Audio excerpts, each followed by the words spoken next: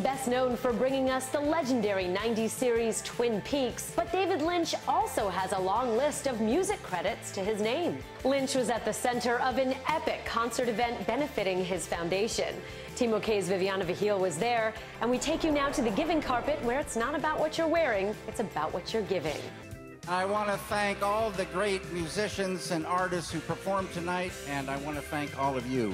Few people have rocked the film, music, and art community more than David Lynch. Some of the most notable musicians have gathered to celebrate this man's career, and it's all for a good cause.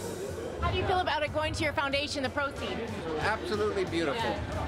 We worked with David um, on our last projects. He, he directed a uh, live show that we filmed at the Mayan Theatre. When the opportunity came for us to support him, we took it. One thing that's really notable about this event, aside from the, the amazing tribute and concert, is that the proceeds go to David's foundation. Well, I think it's a beautiful thing. I think everyone should learn how to meditate. It certainly helps me. I think it's a wonderful, honorable thing that he's doing for the world.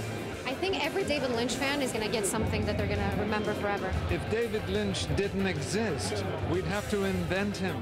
Well, you guys have worked with him for many years now. Obviously, you're close friends. What's one thing that you think people would be surprised to learn about David? He's a smoker. it's a very exclusive, one-time only concert, but you too can have front row seats when it's aired on AXS TV. Coming to you from downtown Los Angeles, I'm Viviana Vihil.